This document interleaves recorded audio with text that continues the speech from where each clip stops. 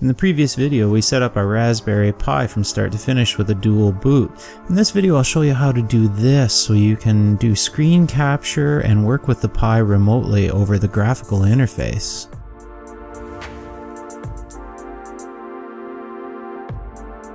So in the previous video, I mentioned that we're going to need PuTTY to interface with the Pi. So go ahead and download this and get it installed. As well, we're going to need a VNC client, so I like Tight VNC, and download this and install it.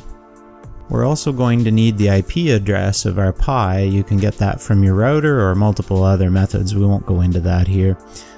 Once you have your IP address, we can go ahead and put it in on port 22, and we're going to log in as Pi and Raspberry. We're all set and logged in. Next we're going to need to do a sudo apt-get update and install all the updates we need. That'll take some time. Once that's all complete, we can do the upgrade and that will make sure that we're completely up to date. We won't run that here because it'll take too long to complete.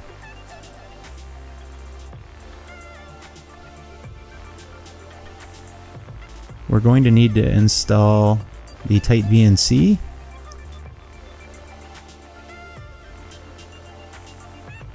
So we do that with the install Tight VNC server command. It's already installed here, so it didn't have to go through the whole process.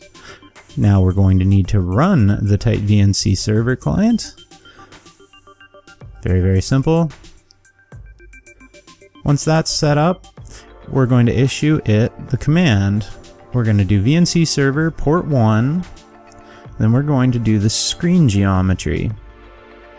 You can set this to whatever resolution you wish. Here I just did 800 by 600 and we'll set a depth of 24. We're all set. Now open your client on your desktop PC port 1 that we specified and we're going to connect using the password that we specified. In this case it's raspberry. In my case won't take the raspberry. It's uh, it won't allow that long of a password.